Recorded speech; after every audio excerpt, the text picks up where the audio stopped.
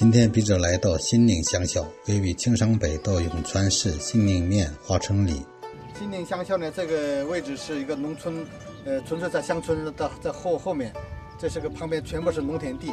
呃，我们看一下哈，这新宁乡校的这个整个是外扇门的，下面是我们现在外扇门的结构。我们看一下这个新宁乡校的介绍哈，以新宁乡校的介绍是它写着大概这个准确的。呃，建筑年间呢不知道，大概是在一四一八年，呃，这个推测的，呃，后来又说重新重建过几次。后来我们看一下这个整个乡校的这个分布图，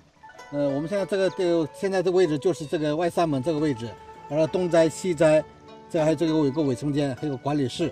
呃，完了是这个明龙堂，呃，明龙堂过后面就是个呃内三门进入大成殿，这整个就是建筑是这这个布局。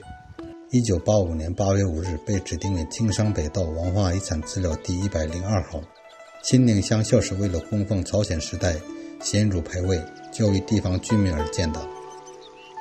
宣祖二十五年（一五九二年）发生仁川紊乱后，该乡校记录被烧毁，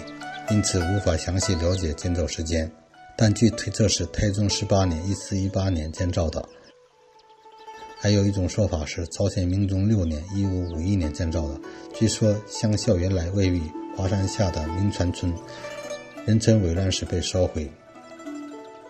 黄海军七年（一六五五年）在现在的香校的位置后面重建。肃宗十二年（一六八六年）搬迁到了现在的位置。现存建筑有青山北道文化遗产资料第一百零二号的大成殿和青山北道有形文化遗产。第一百六十八号的明伦堂，还有东斋、西斋等建筑。嗯，这就是我们整个呃新宁乡校的这个布局。呃，新宁乡校虽然规模不大，可是呃一四一八年建成以后，都已经也也有近六百多年的历史了。呃，当年我们韩国的儒家文化呢，在这种呃乡校的这种痕迹留下来的，保持到现在，这是非常值得我们值得来看一看。